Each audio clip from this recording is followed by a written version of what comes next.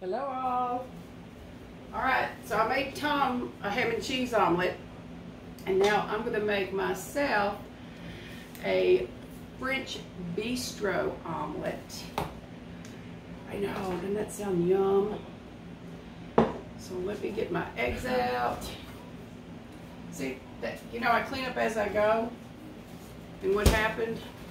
Uh, I have to get everything back out again to make myself one. All right, not the best planning, Karen. Let me get my funnel. I'm using the Epicure Cruet here, and I'm using extra large eggs. So, might need a little bit of encouragement here for the extra large. There we go. And two eggs. And the omelet maker is silicone, FDA safe, food safe silicone. It cleans up so easily and it's dishwasher safe. It comes with a recipe card and instructions on how to use your omelet maker.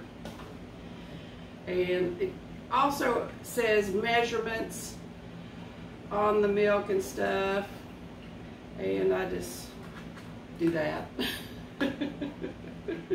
I just do that. Also as part of the instructions, now the top is where the vent holes are. It uh, says to add some oil. I'm using olive oil. It says do not use cooking spray. And then I'm using the Epicure basting brush to get all of that bottom and the sides covered. And I think I got a little aggressive there with my oil, so I'm gonna, yeah. By the way, I have a trash can right here. I'm not just doing that on the floor. just in case you were wondering. Put the top on the Epicure Cruet, which does have measurements on the side, and give it a good shake. So this, I like this method better than whisking. Because I've been told I'm not a good whisker. Just what I've been told. Right, pour that in there. And then for the French bistro, I'm adding fresh mushrooms and spinach. This is the Epicure cutting mat. It comes in uh, small and large. Uh, the beauty of it is it's flexible. So when you're doing a lot of chopping that you have to, you know, just dump in, you can do that. Uh, I just want to make sure I get everything evenly distributed in my omelet. So that's why I'm doing it this way and not just dumping. These two are dishwasher safe. And then I'm going to add some feta cheese. Uh, you could also use uh, goat cheese per the recipe instructions. And it suggests two to three minutes in the microwave. When I did Tom's, I did two minutes and it turned out perfectly. So uh, that's what I suggest. Start with two, then you can always add another 30 seconds or minute as you need it for your cooking time. Press two. There we go. Yeah, there's tons of recipes out there on the Epicure website. Uh, three recipes here, which actually I did share this uh, in our Facebook group. And of course, just whatever, when you go out for Sunday brunch, uh, what kind of omelet do you order on that? And that's what you put in your omelet. This one, see how quick and easy that went? If you want to do more for your family than cold cereal and, and Pop-Tarts or toaster strudels, you saw how easy that was. You may want to get two if you're cooking for several people. This would be a great gift for somebody that is a new homeowner, be a nice uh, housewarming gift a college student, if they have access to a microwave. If you have a camper with a microwave, yeah, definitely, definitely. Um, let me make sure I have everything. Got my plate ready. And my spatula ready. And a towel to pick it up because it was a little hot last time when I pulled it out.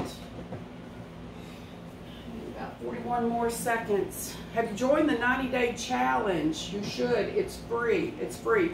I've already gotten accepted into the Facebook group. There's so many tips, encouragement, inspiration. Um, they do it three times a year. And uh, so uh, there's still folks that did the spring one and they have shared before and after pictures, success stories. So I'm, I'm very excited. Very excited and motivated. Uh, that's what I appreciate too about the Facebook community.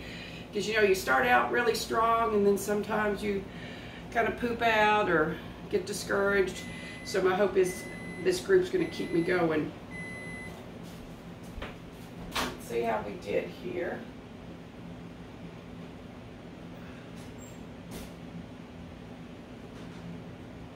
Yeah, I suggest using a hot pad or a towel because my my little omelet maker is hot.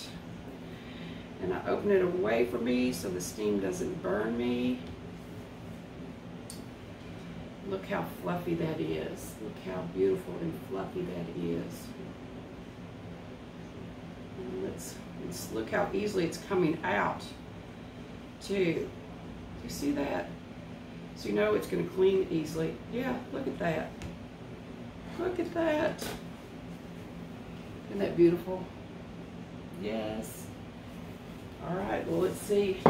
It's beautiful, tastes good. Make sure I get a little bite of everything. The cheese, the spinach, the mushroom.